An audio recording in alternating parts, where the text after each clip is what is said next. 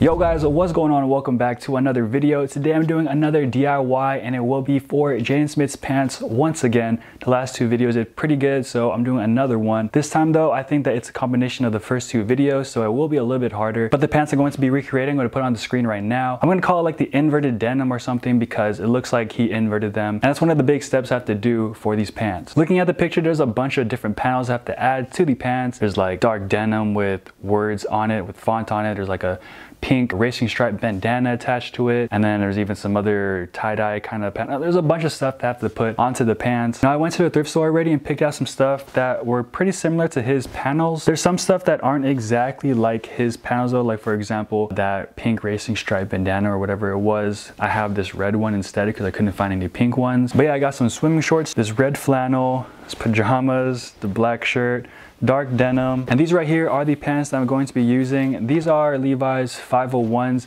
size 33, 34. So they will have the proper length at the bottom of the pant legs. But also let me know what other DIYs you guys want to see. If there's like a celebrity with some pants or a shirt that you want me to recreate, let me know in the comments below. If you want to see more Jaden Smith pants, I'm down to do that as well. Hey, we're back with another Jaden Smith video. So here's how the pants look like before its surgery. Like I said before, they're a size 33, 34, but looking at the video, they're kind of shorter than I originally thought. But regardless, we're gonna make them work. Since the jeans are a bit too dark, we're gonna bleach them to make them lighter lighter. This time, I filled the bucket up with enough water to submerge the jeans, then added a mysterious amount of bleach because I just poured it until I figured it was enough, then I stirred it together. Time to bleach. I put the pants in the bucket and drowned it in different angles to get every inch of the pants wet. I'm not trying to have dark spots on my jeans, so I took my time for this part. I let the pants sit in the bleach in 30 minute intervals, coming back to adjust the pants to make sure everything was fully bleached. I did this four times, then threw them in the wash and dryer. Here's how the pants look like after all that. Now, is it just me or does it look like the pants got shorter?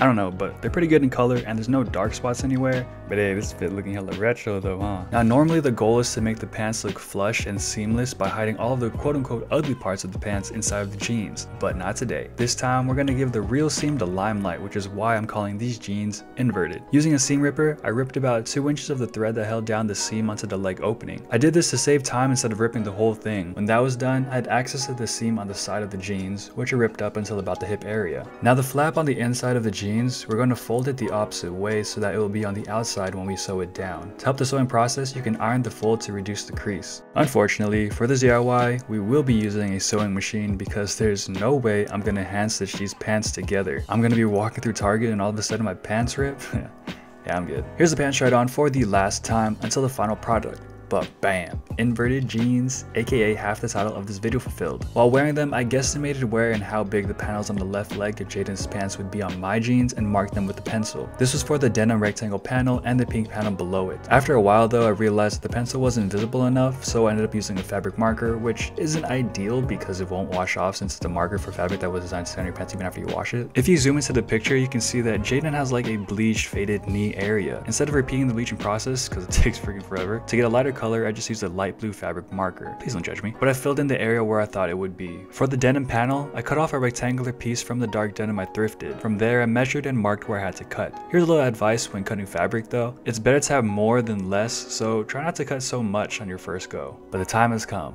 the time to start hand stitching. With the panel in place, I sewed it along the edges. I've decided to hand stitch rather than using fabric tape for example because I want to increase the longevity of each panel. I mean, I want to wear whatever I spend days working on, right? Actually, you're going to see me wearing them one more time, but we're going to try to figure out where the plaid panel will go. It may seem simple because I have pictures of him wearing his jeans, but it was quite the opposite actually. This was one of the steps that took the longest time. I was looking at multiple angles of him wearing the pants and it seemed like the panels were moving higher in one picture than lower in another. So when I thought thought I had the panel right in one spot, I looked in the mirror and it was like, nope, that can't be right, and then made the necessary adjustments. I cut up the flannel I thrifted into the proper size. Jaden left some excess fabric hanging off, so that's what I did too. And of course, when everything was in place, I sewed it down. For the panel on the bottom of the leg, since I didn't have a graphic for it yet, I was really debating if I should use this boo graphic on the front of the black shirt I bought. I'm glad I came to my senses and used the blank part because if I did, hit that dislike button, but I didn't, so please don't dislike it. Okay, so I've been working on the jeans for a while now, and I already have two panels sewed on,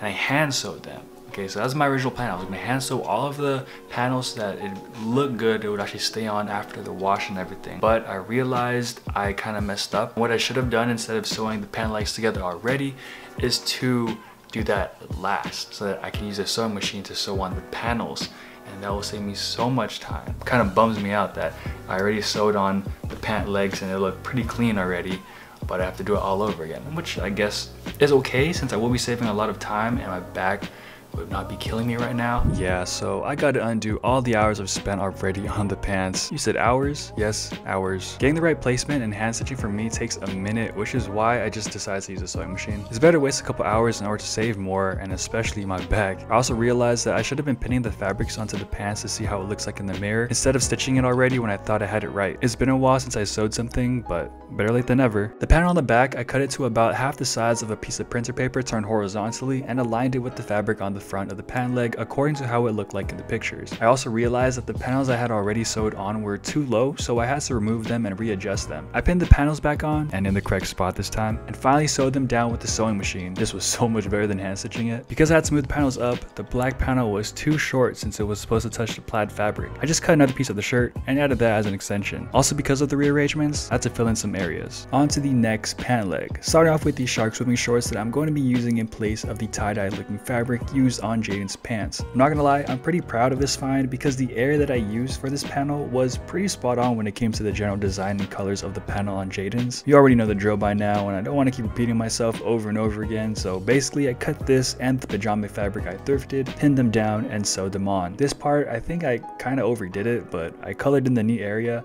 I'm just doing whatever was in the picture. I don't know what this is or who it is, but the big orange words on Jaden's pants say Rusty, so I'll go on with it. For the font, I figured Kenyan Coffee looked the most similar, changed the color to orange, and added a solid drop shadow. I guesstimated the size of the font graphics to be about the size of half a piece of printer paper vertically. For the pattern graphic on the bottom of the left leg, I started with one oval and then copied and pasted five more. With the same anchor point, I rotated each oval to be 60 degrees apart from each other to get an even flower shape. I copy and pasted the whole thing multiple times times to fill out the rectangle even if some sides were outside the box. To clean the outside, I just made multiple black box layers to cover it up. Now I'm not sure what the word is on Jaden's pants because I can't find any good angles of it, so I just used my initials instead. I printed out all of the graphics I made, which holy crap was a lot of ink, made a few cuts, made sure it was placed correctly, got it ready to be ironed because there's no going back from here, and finalized it. For the words on the upper left leg, there are words that say Rusty wins at blank. I couldn't make out what the last parts were, so I just put some of my likes or interests. This part was literally the worst part of this DIY because I had to cut out all 173 letters individually with my X-Acto knife. You don't even know how happy I was when I finally got to the last letter. But once they were all in place, I prepped them carefully and ironed them down. Jaden had a list of 10 things on his back panel, but again, I don't know what it said, so I just put a list of 10 places I've been. To save time and to keep from being repetitive, this and the other graphics I cut, placed, and ironed them down. If you made it this far into the video, here's a little break to show you guys my audience. The last little detail I had to do before I fully sewed the pant legs together was for the plaid panel flap. From the picture, it looks like he sewed the fold so that the flap will always be forward. So that's what I did too. It was also at this time that I realized that I cut the flap a little too short. But now that that was done, we're finally on the last step which was to sew the pant legs closed. AKA, we're done.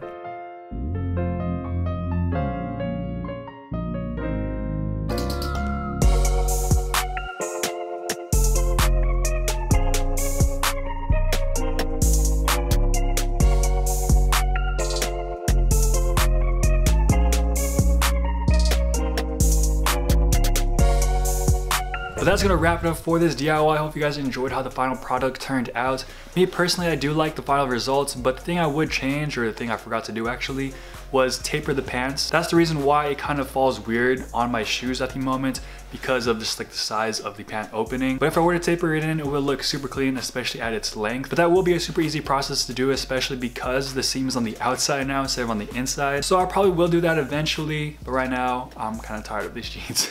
now another thing, the panel where it says Rusty wins at blank, those letters, because I put them on individually, it looks a little funky. Like it would look a lot better if I had an actual screen printing machine or something to put that on my jeans but because I did it individually, it's like not really that even. I don't know, it looks a little bit too cartoony. And the straps on the back, I just tied those to the belt loops. I'm not actually gonna put those on if I do wear these out. But if you guys enjoy this video in any way, shape, or form, hit that like button, hit that sub button too. I'd really appreciate it. Sorry the video took a long time, but hey, it's out now.